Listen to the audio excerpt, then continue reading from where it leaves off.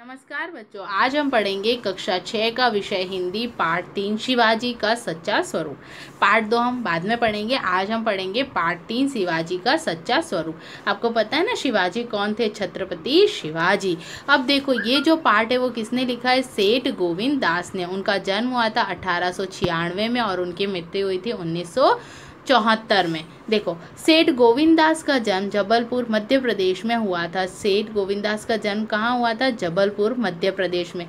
इनका परिचय पढ़ रहे हैं लेखक का। वे हिंदी साहित्य सम्मेलन प्रयाग के अध्यक्ष रह चुके हैं। वो हिंदी साहित्य क्या है? प्रयाग जो थे, वहाँ पर, है ना, उसके अध्यक्ष बने हुए हैं। वे भारतीय संसद के वरिष्ठतम सदस्य रहे। कौन? सेठ गोविंदास। इनकी गणना हिंदी के गुने चुन, गिने चुने श्रेष्ठ नाटककारों में है। इन्होंने अपने नाटकों में विविध युगों और परिस्थितियों की कथा वस्तु ली है।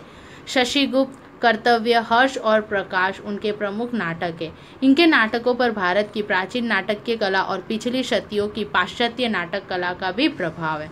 प्रस्तुत एकांकी में शिवाजी के प्रमाणिक चरित्र का परिचय यहाँ पर शिवाजी के चरित्र के विषय में बताया गया इस पाठ में वे पर स्त्री को अपनी माता तुल्य मानते थे। वे हर स्त्री को पर पर मतलब जो पराई स्त्री है, उसको अपनी माता के समान तुल्य मानते थे और हर कीमत पर उनकी रक्षा करना अपना धर्म समझते थे। क्या समझते थे? अपना धर्म। साथ ही शिवाजी सभी धर्मों को समान दृष्टि से देखते थे। इस एकांकी में शिवाजी के सर्वधर्म संभाव की भावना परिलक्षित होती है। अब यहाँ शिवाजी का क्या है? सर्वधर्म, सभी धर्म समान भाव से है, उसका लक्षण परिलक्षित होता है। तो चलिए शुरू करते हैं पात्र। अब यहाँ पर आपको पात्र दिए जैसे शिवाजी, प्रसिद्ध मराठा वीर। आप सभी जानते हैं शिवाजी के बारे में। मोरेपंत पिंगले, उनका पेशवा।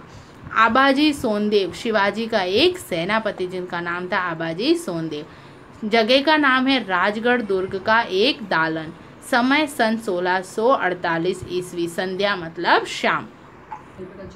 दाहिने और दाहिने और दालन का कुछ हिस्सा दिखाई देता है। दाहिने मतलब आपके दाएँ हाथ की तरफ़। दालान की छत पत्थर के खंभों पर होती है। आपने देखा जो दालान जो होते हैं, आपने किले समझ रखे ना? उनके आपने देखे? जो छत होती है वो खंभे पर होती है। उसके पीछे की दीवार भी पत्थर की होती है। ये किले हमेशा किसके बनाते थे बच्चों? पत्थर के। दालान के पीछे की और दाहिनी तरफ़ दूर पर। अब क्या है? दालान जो है, उसके पीछे दाहिनी तरफ़ मतलब दाई तरफ़, दूर तक गढ़ की सफील और कुछ बुर्ज दिख पड़े पड़े दिख देखो, ये दिखाई देते हैं मतलब ये देखो, यहाँ पर छोटी की मात्रा आएगी आपकी, ठीक है? दिख पड़ते हैं।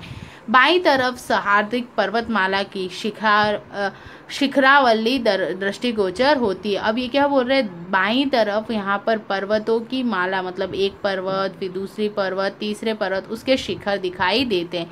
कुछ शिखरों की ओट से सूर्य अस्त हो रहा है। आपने देखा ना कि सूर्य अस्त होता है, तब इनके पर्वतों के पीछे होता है, जिसके अंतिम प्रकाश से सारा दृश्य प्रकाशित हो रहा है। क्यों? क्योंकि ये संध्या का समय था। दालान के सामने किले का खुला मैदान था। मैदान में एक ऊँचे स्तंभ पर भगवे रंग का मराठा झंडा फहराया था। आपने देखा इन किले पर हमेशा जो जिसका होता है, उसका इस तरह का झंडा फहराया होता है तो वहाँ मराठा का झंडा फहरा रहा था।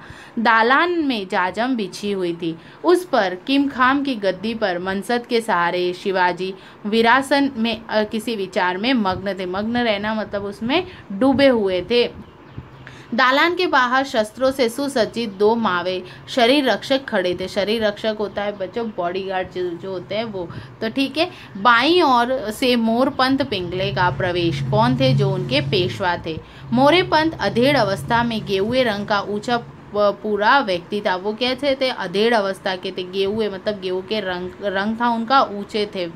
वेशभूषा जीवा, शिवाजी से उनकी मिलती जुलती थी। केवल सिर की पगड़ी मुगल तर्ज की ना होकर मराठी ढंग की थी। वो मुगल का नहीं, मराठी के पगड़ी पहनते थे। उनके मस्तक पर त्रिपुट भी था। उनके मस्तक क्या था? त्रिपुंड। अब मोरपन अभिवादन करके श्रीमंत सरकार, है ना? जैसे वो जैसे ही दरबार में या कक्ष में प्रवेश करते तो बोलते हैं ना तो बोलते हैं उनके लिए वो सरकार थे। सेनापति आबाजी सोनदेव कल्याण प्रांत को जीत, वहाँ का सारा खजाना लूट कर आए हैं। फिर उन्होंने कहा कि जो हमारे सेनापति थे, हमने देखा था ना कौन थे? आबाजी सोनदेव। वो कल्याण प्रांत को जीत कर आए हैं और वहाँ का पूरा खजाना लेकर आए हैं। शिवाजी चौक कर, एकदम चौक गए। अच्छा मोरपंथ की ओर बैठो पेशवा, बोले अच्छा अच्छा। उन्होंने मोरपंथ की ओर देखा और बोला, बैठो पेशवा। उनको मोरपंथ नहीं बोलकर क्या कहते थे? पेशवा। बड़ा शुभ संदेश लाए मतलब बड़े खुशी की खबर लाए हो। आबाजी सोनदेव है कहाँ बोले कहाँ है हमारे सेनापति आबाजी सोनदेव?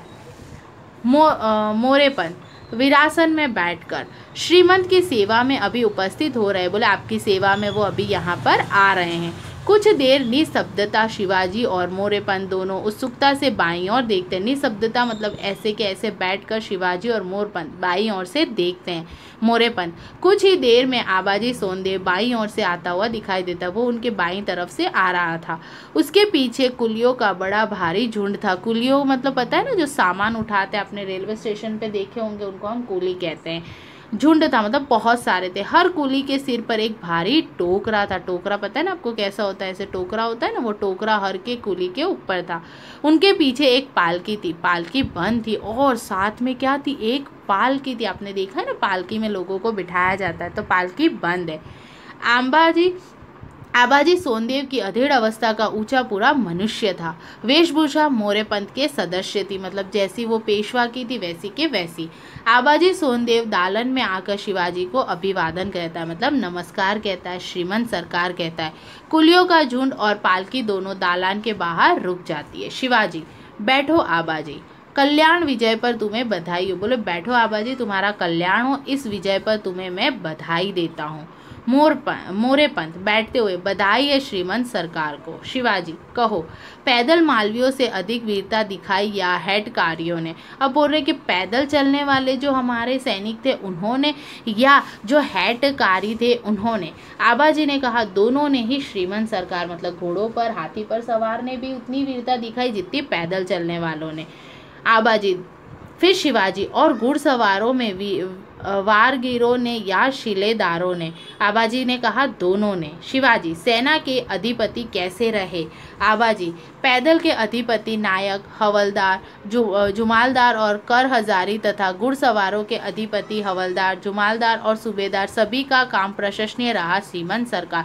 बोले इनके जो अधिपति थे जैसे आप देखते हो ना आपकी कक्षा में आपको मॉनिटर बनाया जाता है है ना? और सारे बच्चे आपका कहना मानते वैसे ही जो ये तो बड़ा सेनापति था इनके नीचे नीचे भी और घुड़सवारों और उनके क्या थे? सेनापति थे। तो उन्होंने कहा कि उनका काम बहुत अच्छा है, ठीक है? उन्होंने बहुत अच्छा काम किया। शिवाजी कुलियों की ओर देखकर मुस्कुराते उन्होंने कुलियों की ओर देखा और हंसे। कल्याण का खजाना भी लूट आए, बहुत माल मिला। बोले, कल्याण का खजाना लूट आए, बहुत माल मिला। आबाजी हाँ श्रीमंत।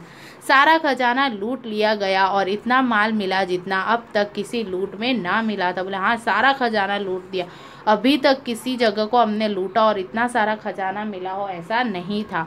चांदी, सोना, जवाहरात न जाने क्या क्या मिला। मैं तो समझता हूँ श्रीमंत केवल दक्षिण की नहीं, उत्तर की भी विजय पर इस संपदा से हो सकेगी।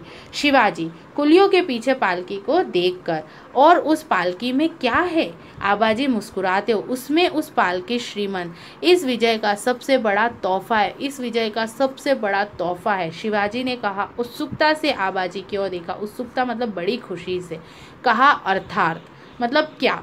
आबाजी, श्रीमंत। कल्याण के सूबेदार अहमद की पुत्रवधु के सौंदर्य का व्रत कोई नहीं जानता। उसे ही श्रीमंत की सेवा के लिए बंदी करके लाया हूँ। बोले, ये क्या है? अहमद की पुत्रवधु है। ठीक है? उसका व्रत मतलब वो इतनी अच्छी है ना तो मैं उसको यहाँ पर लाया। शिवाजी की सारी प्रसन्नता एकाएक लुप्त हो गई। उनकी खुशी उनके चेहरे से चली गई। उनकी भ्रकुटी चढ़ गई। भ्रकुटी मतलब आपने देखा है ना, आँखों के ऊपर ऐसा होता है, वो उन्होंने ऊपर चढ़ाई और नीचे का ओट ऊपर के दांतों के नीचे उनको गुस्सा आया। आबाजी सोनदेव शिवाजी की परिवर्तित मुद्रा मतलब उनका जो ये हाव भाव था देख कर घबरा जाते हैं। मोरे पंत एक टक शिवाजी की ओर देखते हैं। कुछ सर निशब्दता रहती है। कुछ सर वो लोग है ना, निशब्द रहते हैं। देखो, दिखाई दे रहा है, ये पालकी में वो पुत्र वधु थी उनकी, ये है ना, ये शिवाजी राव है और ये क्या है, उनके आबाजी, सेनापति, शिवाजी, भोराए हुए स्वर में मतलब गुस्से स्वर में, पालकी को तत्काल भीतर ले आओ। आबाजी सोनदेव जल्दी से दालान के बाहर जाता है, शिवाजी एक टक पालकी की ओर देखते हैं और मोरेपन शिवाजी की तरफ़, शिवाजी पालकी को देखते हैं मोरपंत उनको देखते हैं, ठीक है, तरफ़। कुछ ही क्षणों में पालकी दालान में आती है। ज्यों ही पालकी दालान में रखी जाती है, त्यों ही शिवाजी जल्दी से पालकी के निकट पहुँचते अब ये क्या बोल रहे कि ज्यों ही पालकी दालान में रखते हैं, वैसे ही शिवाजी पालकी के निकट पहुँचते हैं। मोरेपन शिवाजी के पीछे पीछे जाते हैं। शिवाजी, आबा, आबाजी सोनदेव से, खोल दो पालकी आबाजी। शिवाजी कहते हैं, आबाजी सोनदेव, खोलो पालकी। आबाजी पालकी के दरवाजे खोलते हैं। देखो, दिखाई दे रहा है, खोलते तो वहाँ एक औरत बैठी है। अहमद की पुत्र वधु उसमें से निकलकर चुपचाप एक और सिकुड़कर खड़ी होती है।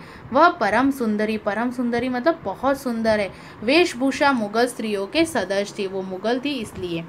शिवाजी, अहमद के पुत्र वधु से माँ। शिवा अपने सिपा सिपहल सार की इस नामुकुल हरकत पर आपसे मुआ मुआफ़ी चाहता है। बोले, उसने उनको क्या कहा? माँ, क्या कहा कि मेरा जो सिपाही है, उसने ये जो हरकत की, ये जो गलती की है उसके लिए मैं आपसे मुआफ़ी माफ़ी मतलब मैं आपसे क्षमा माँगता हूँ। आह, कैसी अजीब गरीब खूबसूरती आपकी आपकी कैसी अच्छी अजीब गरीब खूबसूरती है।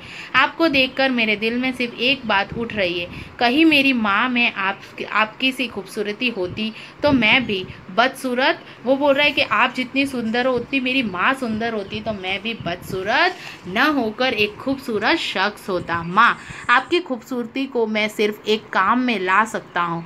उसका हिंदू विधि से पूजन करूँ, उसमें इस्लामी तरीके से इबादत करूँ। बोले, आपकी जो खूबसूरती है, मैं उसका एक ही काम कर सकता हूँ। या तो मैं आपकी हिंदू धर्म में पूजा करूँ या इस्लाम में इबादत करूँ।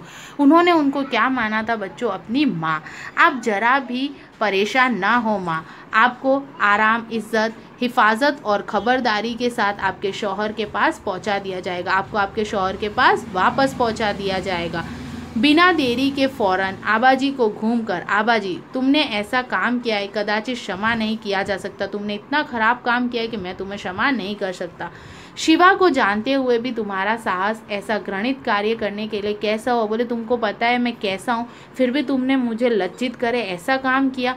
शिवा ने आज पर्यंत किसी मस्जिद की दीवार में बाल बराबर भी दरार ना आने दिए। बोले, मैंने कभी हिंदू मुस्लिम में ऐसा नहीं किया, ना मैंने मस्जिद में वो किया। शिवा को यदि कई कुरान की पुस्तक मिली तो उसने उसे सिर में ठीक है, तुमने बराबर दरार ना आने दी। शिवा को यदि कहीं कुरान की पुस्तक मिली तो उसने उसे सिर पर चढ़ाया। बोले, मुझे कहीं भी कुरान की पुस्तक मिली तो मैंने उसको सिर पर रखा है। मैंने कभी भी, है ना, हिंदू, मुस्लिम में ऐसा नहीं किया। उसको मैंने एक पन्ने को की भी क्षति मतलब उसको हानि नहीं पहुँचाई। बिना मौलवी साहब की सेवा में भेज दी। हिंदू होते हुए भी शिवा के लिए इस्लाम धर्म भी आदरणीय था। वो हिंदू होते हुए भी धर्म के प्रति आदरणीय थे। इस्लाम धर्म हो चाहे कोई भी धर्म हो। तभी तो पाठ के परिचय में हमने पढ़ा था ना कि वो सर्वधर्म को संभाव से देखते थे, एक ही भाव से देखते थे। इस्लाम के पवित्र स्थान, उनके पवित्र ग्रंथ, सम्मान की वस्तु है जैसे हमारी मंदिर की है। शिवा हिंदू और मुसलमान प्रजा में कोई भेद नहीं समझते थे। अरे, उसकी सेना में मुस्लिम सैनिक तक थे, उनकी सेना में खुद मुस्लिम सैनिक थे। वह देश में हिंदू राज्य ही नहीं, सच्चे स्वराज्य की स्थापना करना चाहते थे। आततियों से सत्ता का अपहरण कर उदार नेताओं के हाथों में अधिकार देना चाहते थे। फिर पर स्त्री को हर एक के लिए माता के समान है। फिर ये जो पर स्त्री है मतलब पराई स्त्री तो हर एक के लिए माता के समान है। जो अधिकार प्राप्त जन है, जो सरदार है या राजा है, उन्हें उन्हें तो इस संबंध में विवेक, सबसे अधिक विवेक रखना आवश्यक है। आभा जी कुछ रुककर क्या तुम मेरी परीक्षा लेना चाहते थे? इसलिए तो तुमने यह कृत्य नहीं की। बोले, क्या तुम मेरी परीक्षा लेना चाहते थे? इसलिए तो तुमने ये नहीं किया। शिवा ने लड़ाई झगड़े या लूटपाट क्या व्यक्तित्व सुखों के लिए कर रहा है? क्या स्वयं चैन उठाना उसका उद्देश्य है? तब तब तो यह रक्तपात, ये लूट मार घृणित, अत्यंत घृणित कृत्य, ये सब तो कृत्य है। शिवा में यदि शील नहीं हो सकता तो फिर हमसे इंद्रिय लोलुप्त लुटेरे डाकुओं में कोई अंतर नहीं रह जाता। अरे, तब तो हमारे जीवन में हमारी विजय से हमारी पराजय अधिक अधिक श्रेयकर है। ये सब कौन कहते हैं? आबाजी मोरपन से आह पेशवा, यह यह मेरे एक सेनापति ने मेरे एक सेनापति ने क्या कर डाला? लज्जा से मेरा सर आज पृथ्वी में भी नहीं, पाताल में भी घुसा जा रहा है। बोले, मेरे सेनापति ने ये क्या कर दिया? ऐसा वो मोरपन से कहते हैं।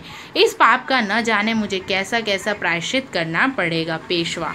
इस समय मैं तो केवल एक घोषणा करता हूँ। भविष्य में अगर कोई ऐसा कार्य करेगा तो उसका सिर उसी समय धड़ से जुदा कर दिया जाएगा। पेशवा ने क्या निश्चय किया एक घोषणा की कि जैसा आबाजी ने किया है। क्या किया है?